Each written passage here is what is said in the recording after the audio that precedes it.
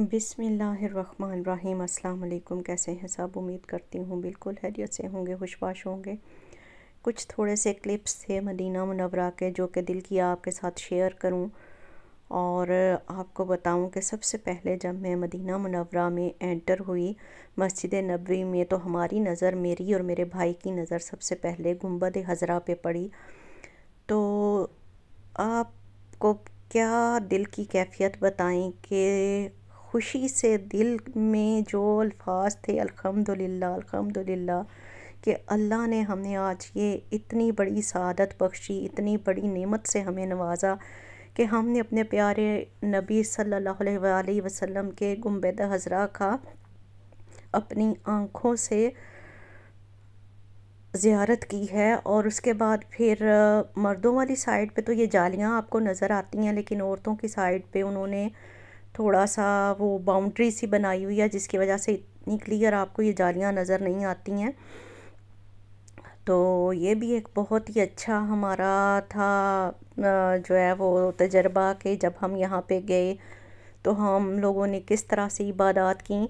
और ये अब हम बैठे हुए हैं ट्रेन स्टेशन पे बुलेट ट्रेन स्टेशन है ये। जो कि बहुत ही साफ़ सुथरी और इनके, मेरा ख्याल है कि मदीना के एयरपोर्ट से भी ज़्यादा अच्छा यहाँ का इनका ये बुलेट ट्रेन का स्टेशन है। बिल्कुल आईसी की तरह ये ट्रेन है इनकी। तो बहुत आरामदेह सफ़र था और टिकट्स आपको यहाँ पे पहले से बुक करवानी पड़ती हैं।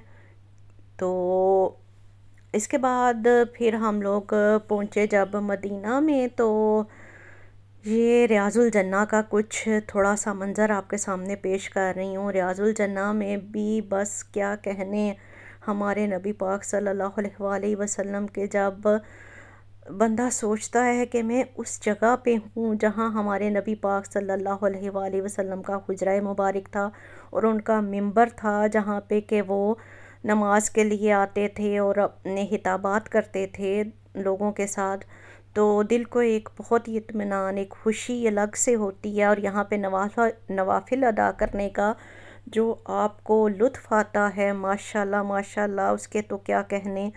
और ये मस्जिद नबी से जब हम 309 और 310 गेट से बाहर निकलते हैं तो ये मस्जिद गुमामा है। मस्जिद गुमामा में यहाँ पे खड़े होके हमारे नबी पाक सल्लल्लाहु अलैहि वसल्लम ने कहत के दिनों में बारिशें नहीं थी हो रही तो बारिश के लिए दुआ की थी तो अल्लाह ने उनकी दुआ सुनी।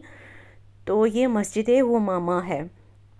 और बहुत ही छोटी सी, बहुत ही प्यारी सी मस्जिद है और इसके इर्द गिर्द इतने ज़्यादा कबूतर होते हैं कि फजर के वक़्त और जो शाम का वक़्त होता है, वहाँ की तो रौनक ही कुछ और होती है। अब ये जो क्लिप है, ये मस्जिद कुबा का है और कुबा मस्जिद में हमारे नबी पाक सल्लल्लाहु अलैहि वसल्लम अपनी ऊँटनी पे या पैदल आते थे और यहाँ पे दो नफल नमाज़ अदा करते थे। ये इस्लाम की पहली मस्जिद है और इसका पूरा रास्ता इतना खूबसूरत बनाया गया है और इस मस्जिद की इतनी खूबसूरती है कि मैं बयान नहीं कर सकती, मदीना की सब मस्जिदों में से खूबसूरत तरीन मस्जिद मस्जिद कुबा है। आपका अगर यहाँ पे जाना हो मदीना शरीफ में तो लाजमी आप कुबा मस्जिद का विज़िट करें, क्योंकि यहाँ पे पड़े गए दो नफल, एक मकबूल उम्र की हैसियत रखते हैं।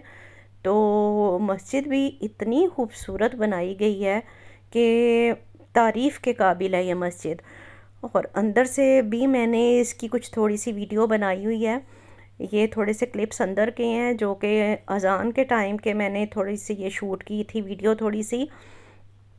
तो ये लेडीज़ की साइड है और जेंट्स की साइड पे भी बहुत ही खूबसूरत कंस्ट्रक्शन अभी भी इस मस्जिद में हो रही है। इसकी अंदर से तामीरात हो रही हैं। साथ साथ आपको पता है कि ये चेंज करते रहते हैं, तब्दीलियाँ करते हैं रिपेयर करते हैं। और बहुत ही एक, मैं कहती हूँ, अलग से सुकून था इस मस्जिद में भी नमाज़ पढ़ने का। तो कोशिश की है मैंने कि जहाँ जहाँ पे जाऊँ, आपके लिए थोड़ी सी वीडियो साथ साथ बनाती जाऊँ। अब ये सुबह फजर के टाइम का था वक्त जब हम बाहर निकले नमाज़ पढ़ के तो ये छतरियाँ खुल रही थी तो थोड़ी सी वीडियो यहाँ भी मैंने आप सबके लिए पिक्चराइज़ की है। उम्मीद करती हूँ कि मेरी ये काविश आपको पसंद आएगी।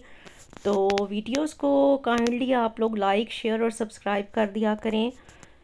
तो अगर कुछ मालूमात लेनी हो कुछ पूछना हो तो कमेंट बॉक्स में ज़रूर आप पूछ सकते हैं। तो इसके साथ ही अब मैं इजाज़त चाहती हूँ, दुआओं में याद रखें। मिलते हैं इन फिर किसी नेक्स्ट व्लॉग में नेक्स्ट वीडियो